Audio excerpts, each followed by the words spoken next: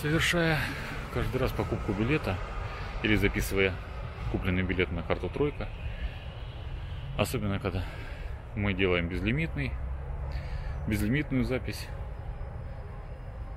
билета, мы зачастую, заходя в транспорт, забываем провалидировать нашу тройку, ну, либо наш билет. И сейчас хотелось бы поговорить по поводу Б, безопасности. Да, безопасности при совершении обычного такого действия, когда мы берем наш билет и валидируем.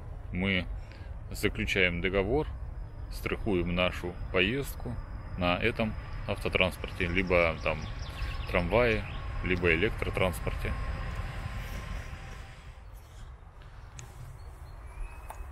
Зачастую, делая так, как я сказал, то есть не валидируя билет, мы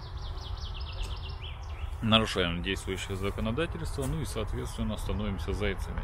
Но помимо этого, мы еще лишаемся такой вещи, как страховка. И если не дай бог что-то произойдет во время вашей поездки, а может произойти все что угодно, вы можете, допустим, не успеть там схватиться при резком торможении и вас, не дай бог, ударит там о ближайший какой-то предмет, либо там близстоящее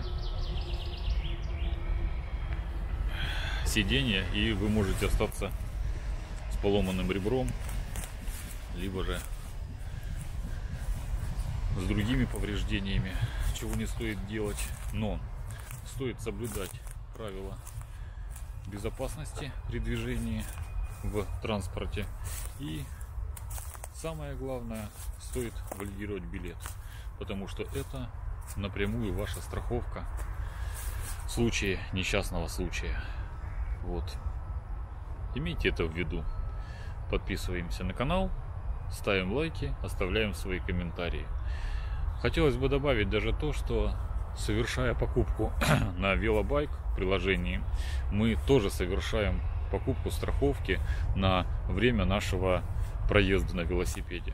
Поэтому страховка это не пустое слово, это не то, что вы просто так отдаете деньги неизвестно за что. Это в первую очередь ваша безопасность.